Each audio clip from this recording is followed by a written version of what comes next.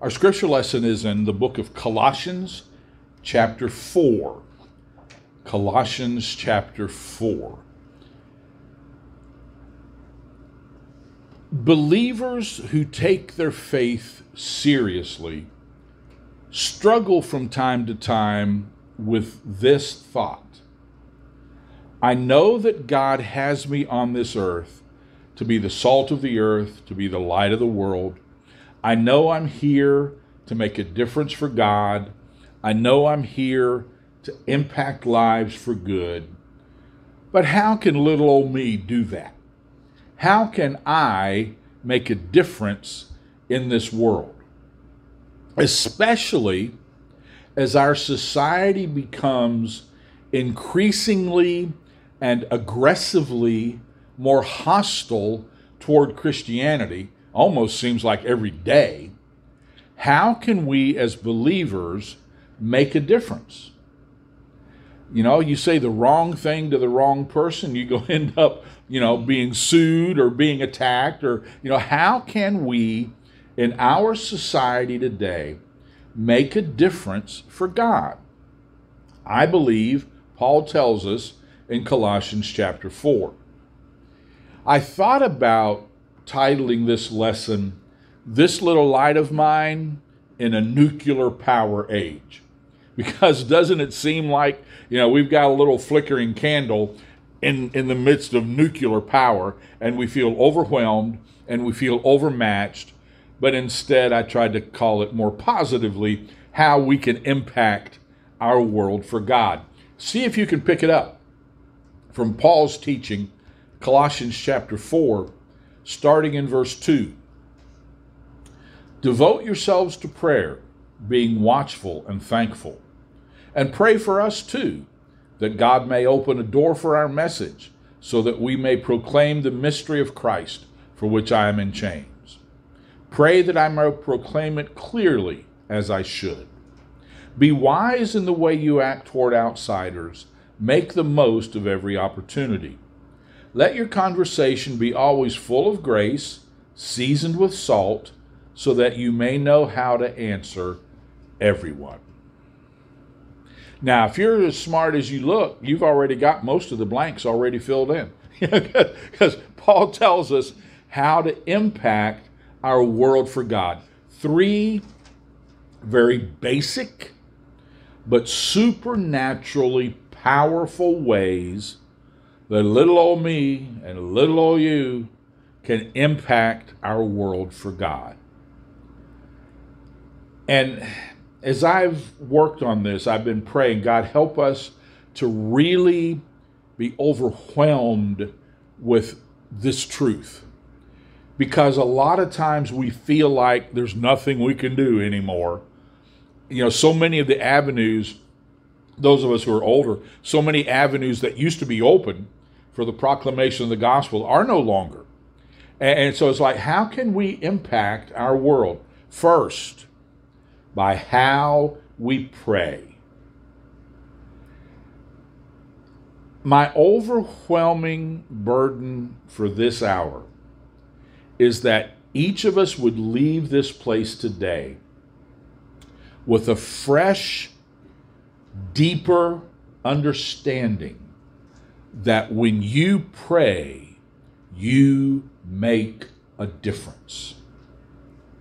A lot of times, humanly speaking, we don't think it make you know because we're we're action people, and we think praying. Well, we're not doing anything. We're just praying. No, that's the most important thing. The most powerful thing you can do is pray. James five sixteen still says the prayer of a righteous person is powerful and effective. And Paul lists four qualities to guide our praying. First, he says, be faithful, devote yourself to prayer. 1 Thessalonians 5:17. You probably have it memorized in the King James. Pray without ceasing. You know, pray continually. In Luke chapter 18, it says that Jesus taught a parable so that his followers would always pray and not give up. now more than ever, those are the options, right? Always pray or give up. And, and, and Jesus tells us in his parables, Paul tells us in this passage, you can impact your world for God by how you pray. Be faithful, be devoted to prayer. Part of that is cultivating a consciousness of the presence of God. I know that I have mentioned this often in the last few months, but Brother Lawrence's prayer, practicing the presence of God, little devotional booklet that will put you under conviction. He was a kitchen helper in a monastery, and he said, My sink of dirty dishes is an altar of worship to God. And he talks about cultivating the presence of God wherever we are. Now, if I ever get on the elliptical trainer, I'm very conscious of the presence of God. Help me, Lord. Help me, Lord. You know, if you help me get off of this, I promise I'll never do it again. You know, but but we need to learn to be aware of God's presence wherever we are you know, I, I encourage you, it, it'll feel weird if you're not used to doing it, but I encourage you to just keep up a running dialogue with God through the day. I mean, you know, you text your friends all day long, you know, text God, you know, just, you know, uh, something happens and it was good. Thank you, Lord. You know that that was really cool. That was neat meeting that person again or it was so cool to see that or they had my favorite food on special you know or what just maintain a running it always gets around to food with me doesn't it? Maintain a running conversation with god through the day.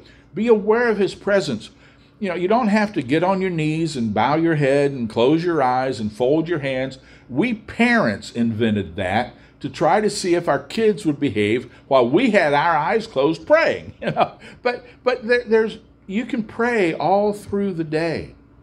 When you when something hits you, when there's a beautiful sunset, or you know, just maintain and develop a consciousness of the presence of God wherever you are. Now, there are times also when we need special times of prayer a special concentration in prayer. Before we make a big decision, we ought to be spending some extra time in prayer. Uh, when we feel spiritually kind of dry, we need to spend some extra time in prayer. And as we pray, we need to be persistent with it. You know, Jesus said, Ask and it'll be given you, seek and you'll find, knock and it'll be open. The, the verbs that he used there, ask, seek, and knock, can literally be translated Ask and keep on asking. Seek and keep on seeking. Knock and keep on knocking.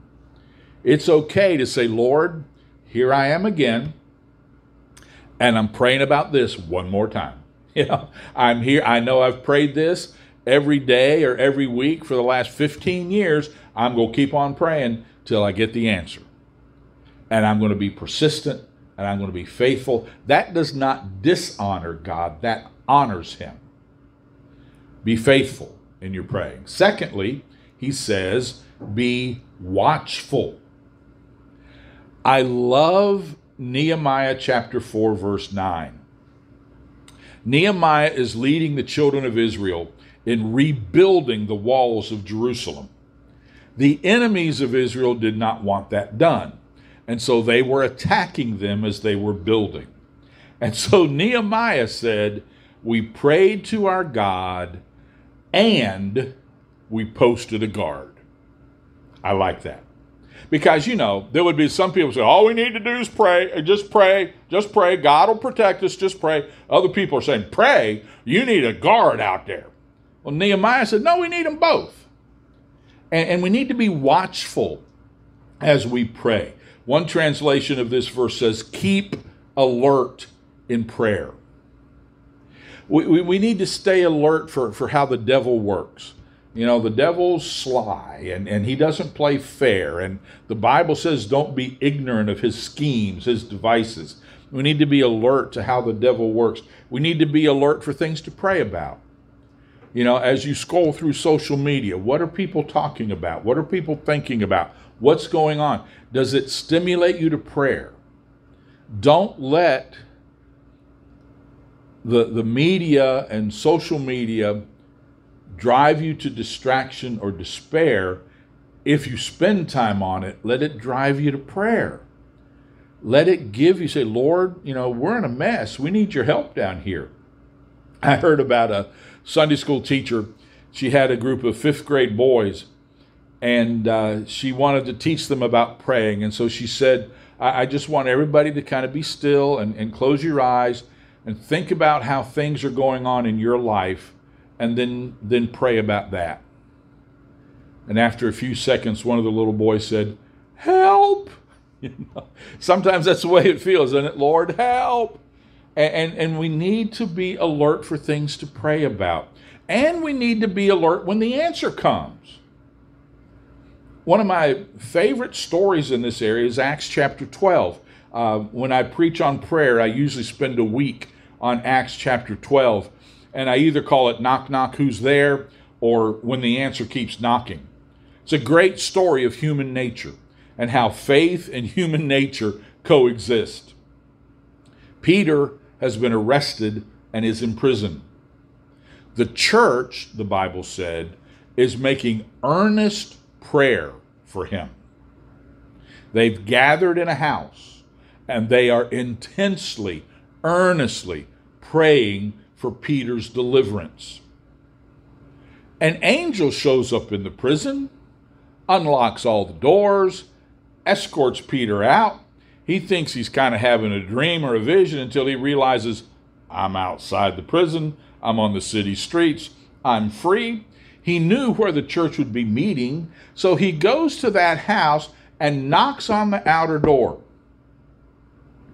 And Rhoda, a young lady who's there, I cannot prove this to you biblically, but as a pastor, I believe she was keeping the kids. You know, she was the one that had the children over in that corner entertaining them while the grown ups were praying.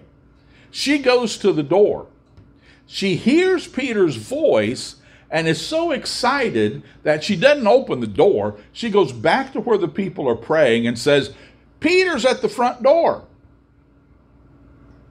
And that early church, that great, powerful early church said, No, he's not. He's in prison and we're praying that he'll be set free. You don't understand. He's at the door. No, he's not. He's in prison. That's why we're here. We're praying he'll get set free. Finally, you know, the answer keeps knocking.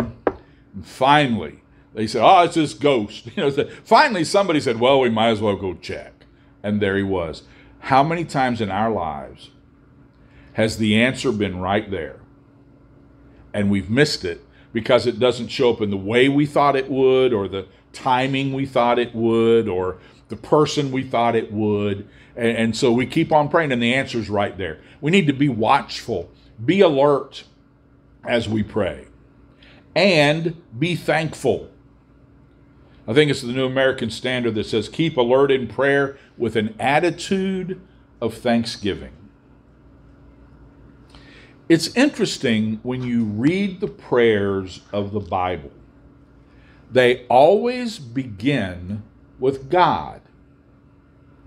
And often they begin with the reminder of how He has answered prayer in the past. And then they will talk about who He is. Then they make their request.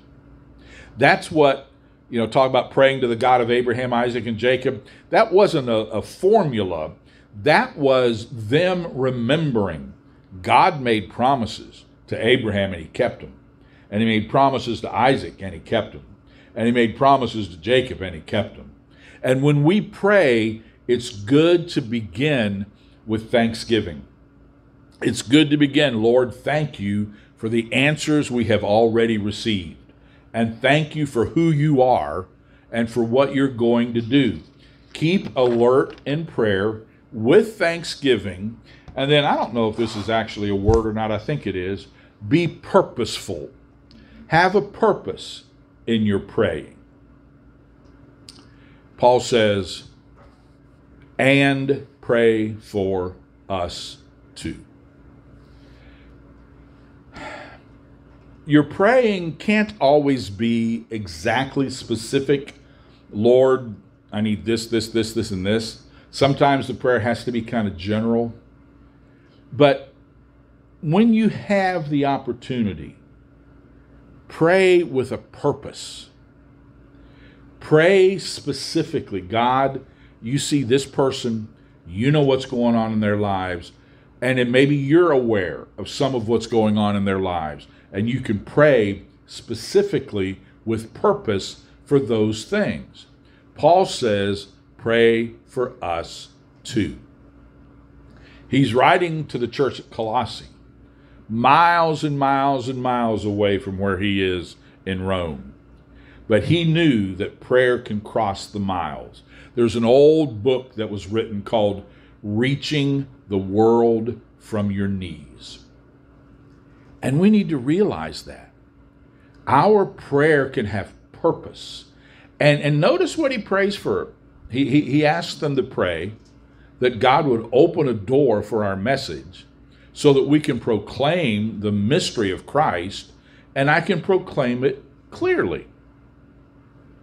Now, I know that many of you pray on a regular basis for Donna and me and our family.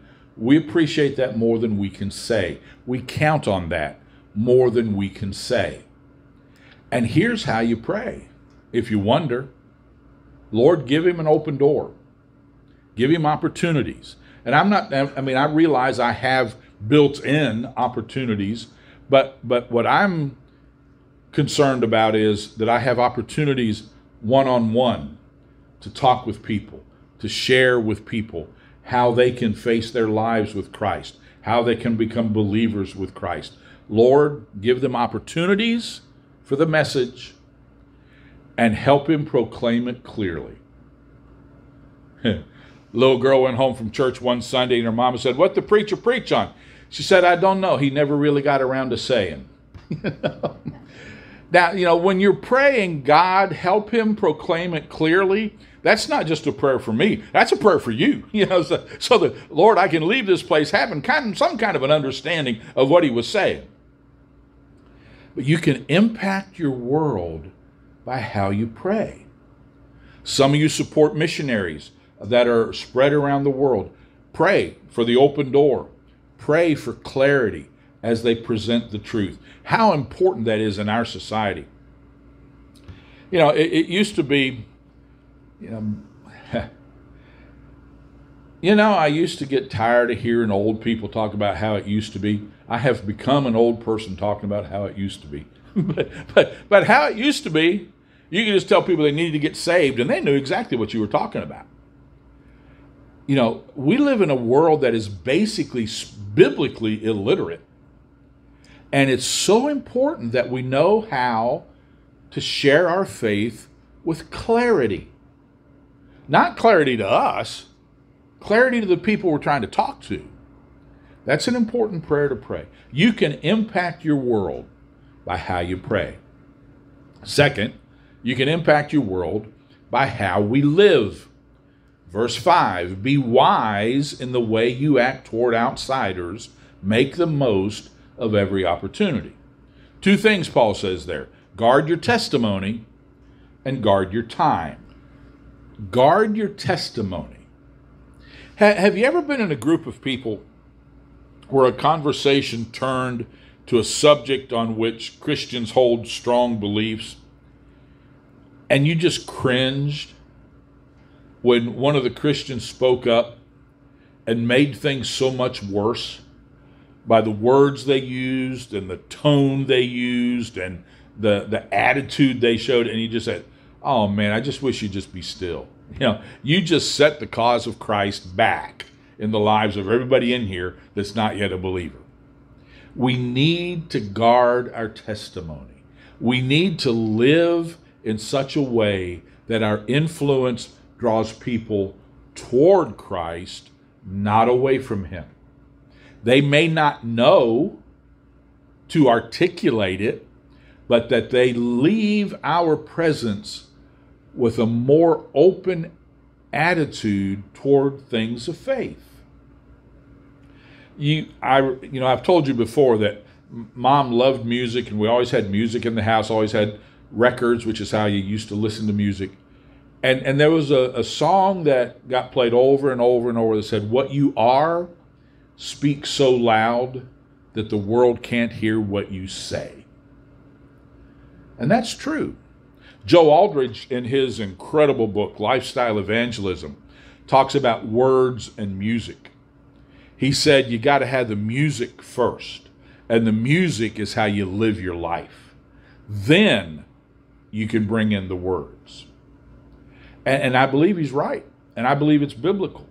Guard your testimony, live your life in such a way that people will listen when you speak.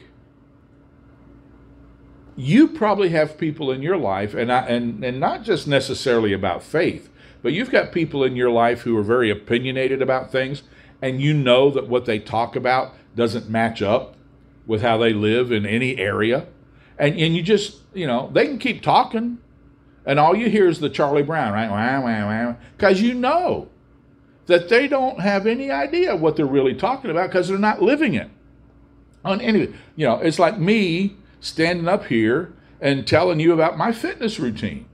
And then wham, wham, wham, because you know I ain't got one. You know, and and it's like somebody who's you know on the verge of bankruptcy all the time talking about financial management. You, you just know, and and it's some people that live like the devil talking about the Lord.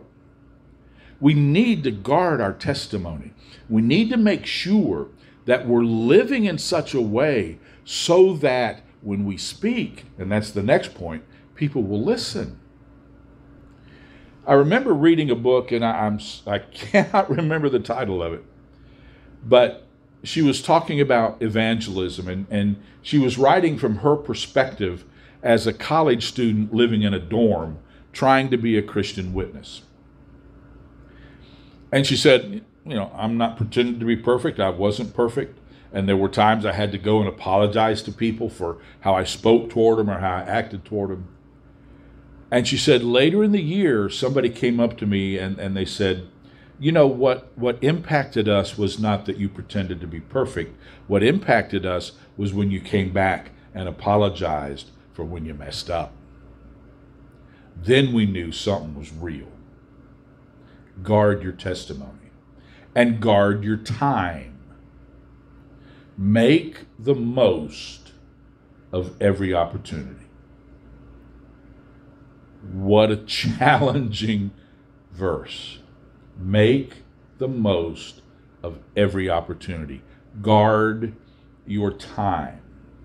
And the words that Paul uses here has with it the idea of making the most of the strategic moments in your life. Now, sometimes we're in a strategic moment and we know it. This is important. What I handle, how I handle it, what I do, what I say, what I decide in the next 30 minutes, this is a big one. But there are other times when you don't realize how strategic it was till you look back on it and think, oh, you know, that that chance encounter really wasn't because that person became instrumental in me getting this job or this opportunity or whatever. And and this conversation was more strategic than I realized because it helped somebody make a decision. And, and so Paul says make the most of all the opportunities be alert to the opportunities that are around you and, and and how do you do that I'm convinced that it flows out of how you pray that as you pray you say Lord help me be aware of the opportunities that come my way. How many times at the end of the day did you give yourself that V8 slap and say, oh man, they ask a question? And what an opportunity it would have been for me to talk to him about God. And I missed it. Ask God to help us not to miss those opportunities. How can we impact our world? how we pray, how we live. And if you pray with impact and you live with impact, then how we talk. You can have conversations with impact.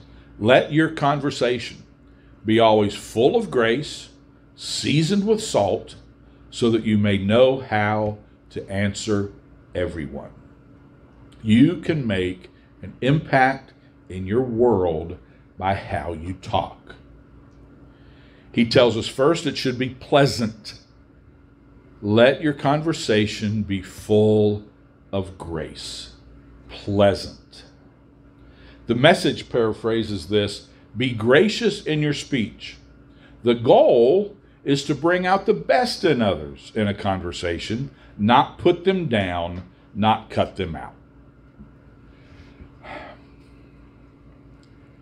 Do you eavesdrop on life as you live it? I somebody said to me one time because I was in a room, I wasn't eavesdropping.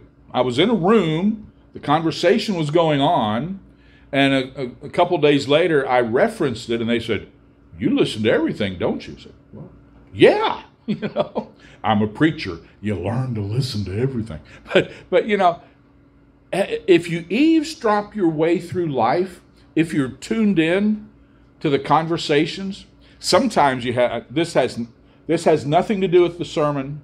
It's just a funny story. It's a true story, but it's an illustration of what can happen when you eavesdrop your way through life.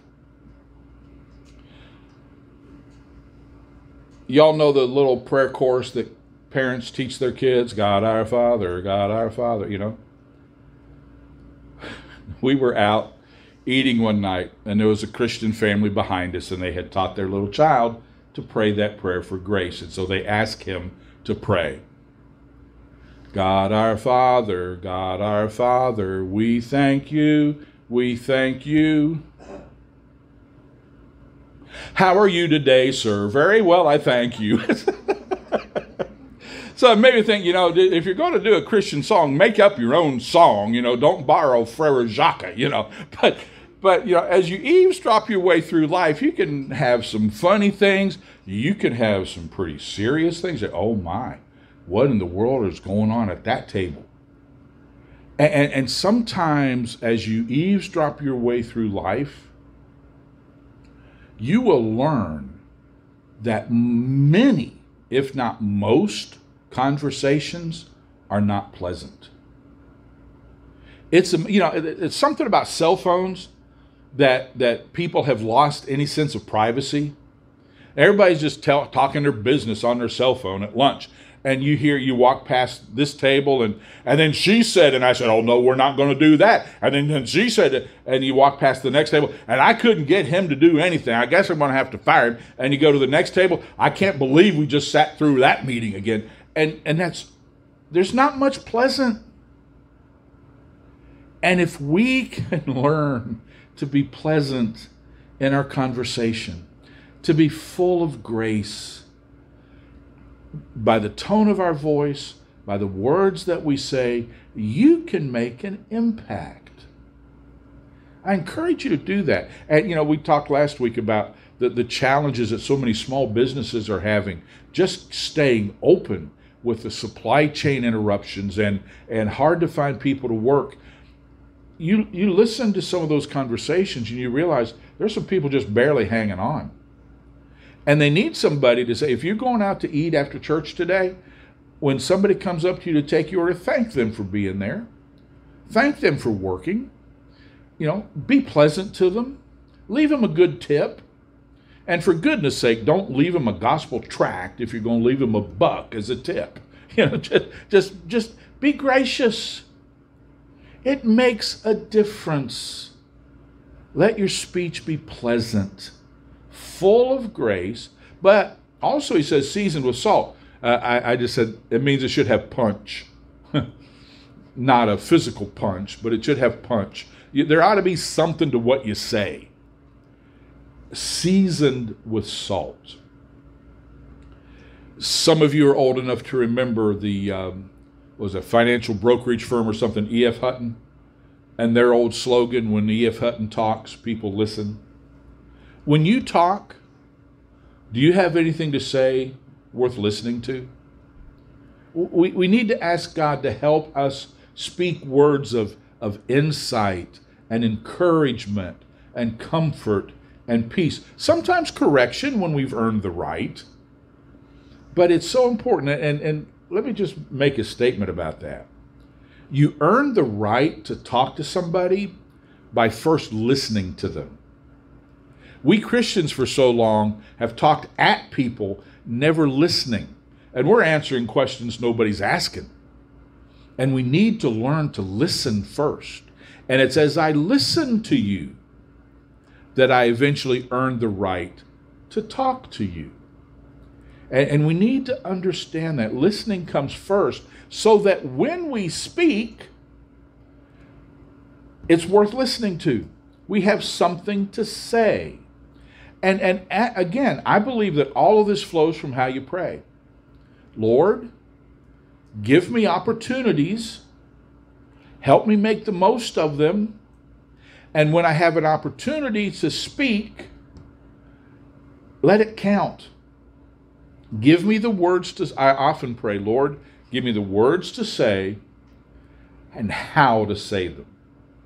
Because, you know, sometimes you can say the right words in the wrong way and you just have hurt yourself. Lord, help me to know when to speak, how to speak, what to speak. Guard my words. Have punch, and it should have a point. Yeah. He says, so that you know how to answer everyone. Your speech ought to have a point. That's an echo of what Peter says in 1 Peter 3:15. Always be prepared to give an answer to everyone who asks you to give the reason for the hope you have. But do it with gentleness and respect. In Acts chapter 5, the apostles have been in prison. They get set free, and an angel says, You go speak the words of this life we need to ask God to help us know how to answer the questions that are out there. That doesn't mean you have to take a 16 week class in how to answer every question anybody's ever going to ask you because the first question you get asked out of that class is not going to be one they cover. You know, you just you just you know the most effective way? You ever seen the bumper sticker that said, "Let me tell you about my grandchildren"? There is no class ever been offered. I think I'm safe in saying that. There's no class ever been offered on here, grandparents, is how you talk about your grandchildren. No. If they're grandparents, they go talk about their grandkids. The same thing should be true of us as believers. Not that we beat people over the head with a, hey, you want to see my picture of Jesus? You know, no, not that, but that our conversation just naturally is filled with faith. One of the greatest testimonies in the Bible is the man who was born blind. Jesus heals him. The enemies of Christ come to that young man and they say, Who was that man that healed you? Was he a devil? Who was he? And the man said this I don't have any idea who he was, but this is what I know. I was blind, now I see. And the next verse says, The enemies of Christ had nothing to say about that. The greatest way you talk is I want to tell you the change Jesus made in my life. When people talk about their struggles and again, you've earned the right to have the discussion. When people are talking about their struggles, and you could just say, you know, let me just tell you what works for me. Let me tell you about how I lean on God. Let me tell you about how I have found it works. Because most people are not asking questions about well, you know, who's the Antichrist? Or, well, of course, now they're asking if the vaccine is the mark of the beast. It's not. But, you know, most, most people, they're not asking those kinds of things. They're not asking you to debate the gap theory of Genesis chapter 1. They just want to know can God help me get through my day? And if you have learned that, yes, He can, you have that opportunity. Little old me and little old you can impact our world for God by how we pray and how we live and how we talk. It's just that simple. Not easy, but simple. As you pray, again, I'm asking God to overwhelm us with the understanding at a very deep level that as you pray, you are impacting the lives of those for whom you're praying. That as you live your life as a believer and make the most of the opportunities, you are making an impact. Because all the world's getting darker and darker and darker. Jesus said, We're the light of the world. And you know what happens to light when it gets darker and darker, right? The light shines brighter and brighter. And then when you have that opportunity to have those discussions, make them count for the glory of God. Father, this is my prayer today that you would give us a fresh understanding of the power of prayer. We know the verses. The effectual, fervent prayer of a righteous person avails much. We know all those, but sometimes we kind of don't believe it. So, Lord, I pray you just overwhelm us with a fresh, deep, spiritual level understanding of the impact that we have through prayer. And then, Lord, help us as we endeavor to take your spirit with us.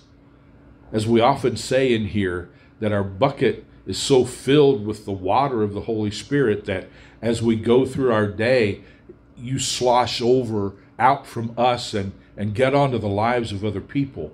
Lord, that, that our lives would just overflow with you. So that as we go through our day, the daily routines and activities, we would do it as a person of impact. Lord, I know working in long term care facilities, working in hospitals, I know that there's a difference between people who are people of faith and people who aren't.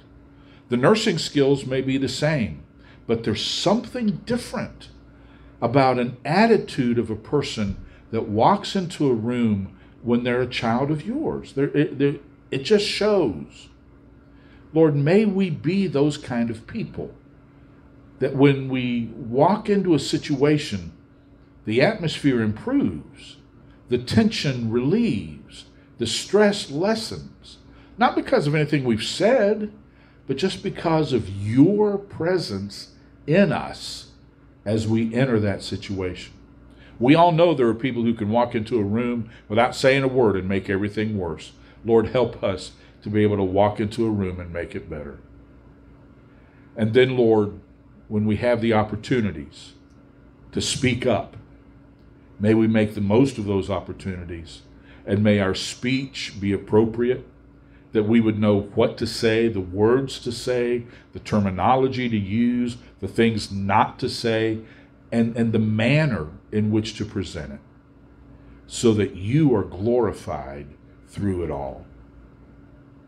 Lord, we want to make a difference in the lives of people. When, when we leave a conversation, we want somebody to say, I'm so glad I ran into them. They encouraged me, they helped me. Lord, too many of us have too many people in our lives beating us down all the time. Help us to build people up, to be a shining example of what it means to be a follower of Christ in this world. And now may the Lord bless you and keep you. May he make his face to shine on you and give you his peace now and evermore. Amen. God bless you. Thanks for coming out today. Thanks for tuning in. You're dismissed.